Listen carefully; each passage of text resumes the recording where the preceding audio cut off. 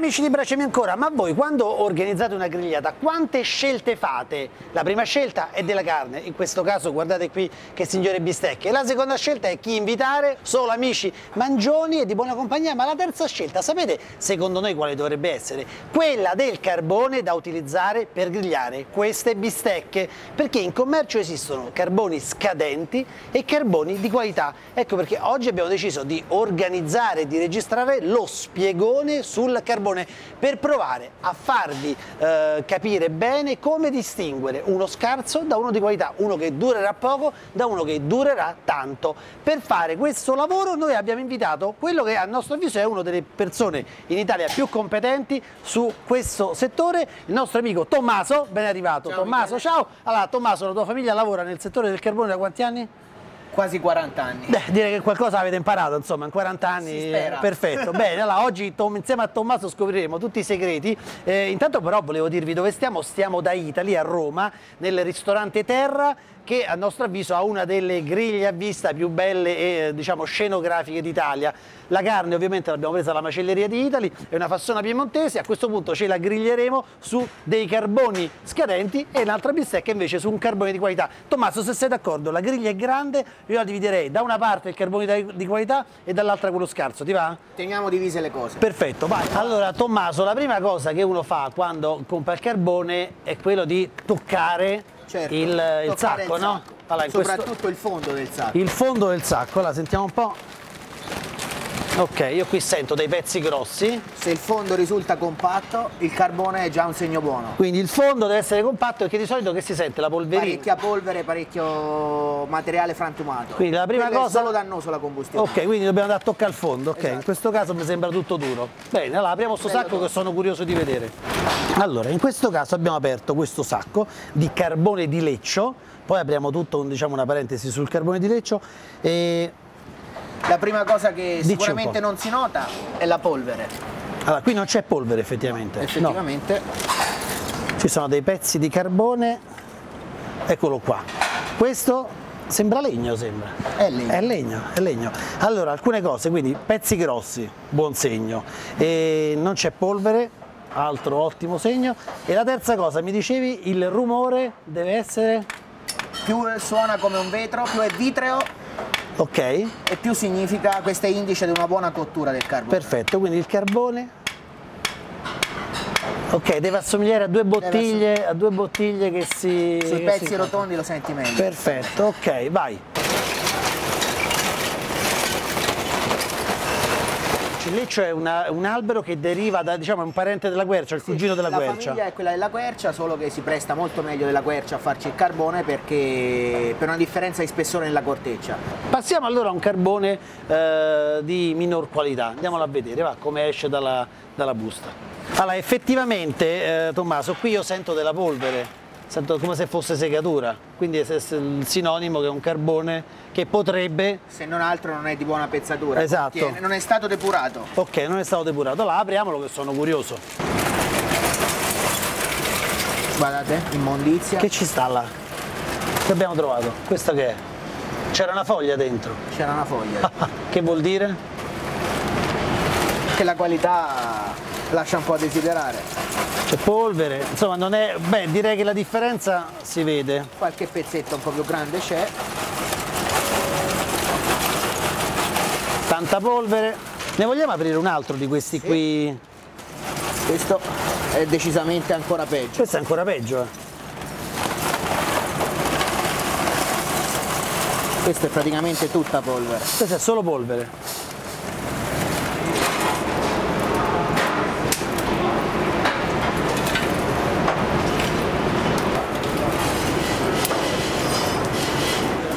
Già sono partite le scintille, è tutto uno scoppiettare.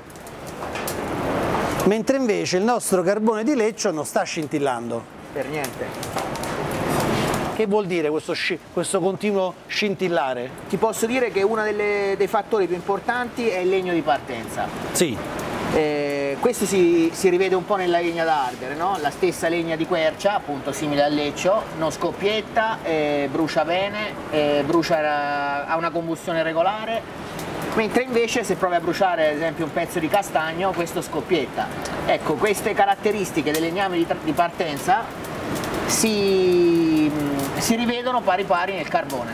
Ok, allora in questo caso il nostro carbone, quello più scadente, ha già preso fuoco praticamente, già preso, scintilla scintilla è già preso, mentre invece quello, il carbone del professionista, placido, sta lì lì, si sente che un rumore c'è, cioè sta prendendo, Però ma con calma. piano. Questo è indice anche di purezza del carbone. Quindi allora il consiglio che tu ti senti di dare è di diffidare da quei carboni che fanno troppe scintille. Sì, sicuramente. Diffidate. Oltre a non essere buoni per grigliare, possono essere anche pericolosi se non utilizzati in ambienti idonei. Allora, nel frattempo noi abbiamo eh, di fronte a questa griglia che è praticamente un po' è una Formula 1, eh. Sì. sembra stare di Il fronte sogno di ogni griglia. Sembra stare di fronte a una Ferrari. Noi abbiamo aperto i bocchettoni dell'aria al massimo per stimolare ancora di più i nostri carboni tra mille scintille. Allora guardate, carbone di leccio, le scintille sono veramente al minimo sindacale. Carbone eh, di qualità scadente sta Sicuramente che eh, bracio rosso. Esatto, sembra una, notte San Silvestro, sembra, fuochi d'artificio a go-go, e il carbone mediano che ovviamente in questo caso fa una, diciamo, la fase di, di- di scintilla è, è media. Quindi la dimostrazione, insomma, stiamo stressando i vari carboni. Condizione massima di stress. Ragazzi, 1006 gradi, vi posso assicurare che stare accanto a 1006 gradi è faticoso, insomma, il calore si sente. Allora Tommaso, se vede del tuo volto i segni della fatica, qui è tutto uno schioppettare. Allora, tu hai messo in commercio opla, questo carbone di leccio italiano, prodotto in Calabria, uno- cioè tu produci tanto carbone, ma questo è quello di cui vai più orgoglioso. Sì, perché appunto come hai detto te è l'unico prodotto 100% italiano che trattiamo e che si trova in Italia. Allora, prodotto nelle carbonaie, quelle di una volta, allora non abbiamo video delle carbonaie, ma Tommaso ci ha rimediato delle foto che vi mettiamo in sovraimpressione in questo video per farvi capire ancora come oggi producono il carbone Come artigianale. veniva fatto una volta, è l'unico Eh, modo. L'unico modo poi per avere quel tipo di prodotto. Noi ci beviamo un bicchiere d'acqua perché ci stiamo morendo di caldo, ci rivediamo tra qualche secondo.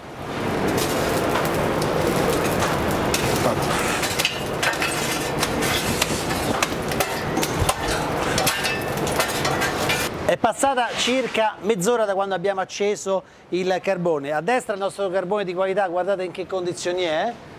A sinistra praticamente ha esaurito la sua, la sua spinta. Ok, 917 gradi, direi che si può fare, mentre invece il nostro carbone, quello di eh, qualità un pochino inferiore, è arrivato, è arrivato ai 690 gradi, quindi la temperatura lì comincia a scendere, qui si mantiene, a dimostrazione di quello che dicevi prima, Questo è mantenimento... in regime, questo è già in... Vedete, questo è pronto per iniziare a grigliare, quello è bello che è finito, diciamo, quella la sua forza propulsiva tra un po' finisce. Forse per una bistecca ce la facciamo. dai. Va bene, vai. E ora si apre la parentesi sulla eh, descrizione della cenere, che anche questo è un elemento importante. Sta a indicare... Allora, lato sinistro del carbone di minor qualità, cenere scura. Quindi cenere scura uguale, combustione non ottimale. ok, quindi carbone di minor qualità. A destra invece abbiamo una cenere sicuramente più chiara Molto più bianca nel complesso. e anche la cenere quindi è un indicatore, un indicatore importante di qualità. Allora a questo punto abbiamo esaurito, credo, tutti i macro aspetti eh, per distinguere un carbone buono da un carbone meno buono. Io direi, caro mio, che se facciamo una Cuociamo. bistecca, eh, cuociamo, costata o fiorentina? Che domande mi fai Michele? Fiorentina? Fiorentina per te e costata per me, va bene. Allora io abbasso però. sì, io uguale. Allora, mi raccontavano gli amici di Italy che questa griglia strepitosa è stata costruita appositamente su misura da un artigiano, da un artigiano spagnolo. Ora vediamo il nostro mastro carbonaio come se la cava di fronte alla griglia. Noi stiamo per tirare fuori le bistecche dalla griglia, là, però io volevo farvi vedere la differenza fra la mia griglia dove praticamente il carbone eh, già ha esaurito la sua potenza di fuoco e la, eh, invece la situazione della griglia di, di, di Tommaso, guardate un po', è tutto un altro aspetto.